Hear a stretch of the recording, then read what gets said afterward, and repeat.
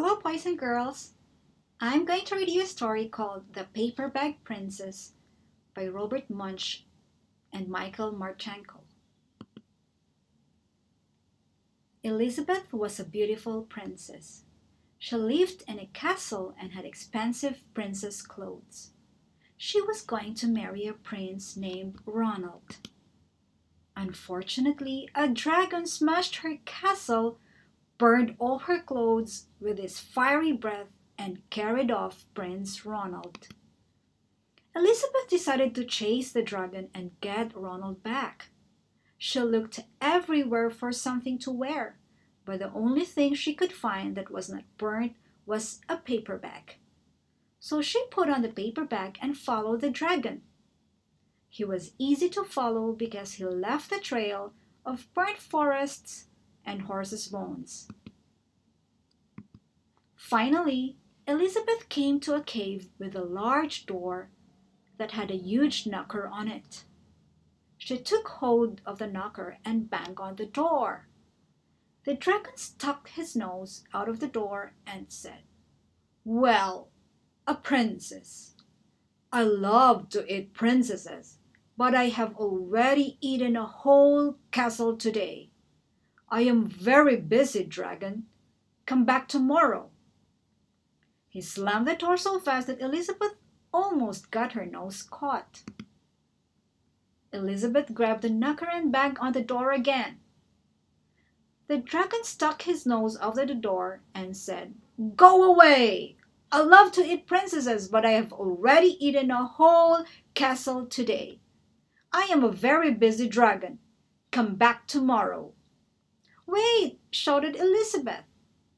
Is it true that you are the smartest and the fiercest dragon in the whole world? Yes, said the dragon. Is it true, said Elizabeth, that you can burn up ten forests with your fiery breath? Oh, yes, said the dragon, and he took a huge, deep breath and breathed out so much fire that he burnt 50 forests. Fantastic, said Elizabeth, and the dragon took another huge breath and breathed out so much fire that he burned up 100 forests. Magnificent, said Elizabeth, and the dragon took another huge breath, but this time nothing came out. The dragon didn't even have enough fire left to cook a meatball. Elizabeth said, Dragon, is it true that you can fly around the world in just 10 seconds? Why, yes, said the dragon, and jumped up and flew all the way around the world in just 10 seconds. He was very tired when he got back. But Elizabeth shouted, Fantastic! Do it again! So the dragon jumped up and flew around the world in just 20 seconds. When he got back, he was too tired to talk, and he lay down and went straight to sleep. Elizabeth whispered very softly, Hey, dragon! The dragon didn't move at all. She lifted up the dragon's ear and put her head right inside.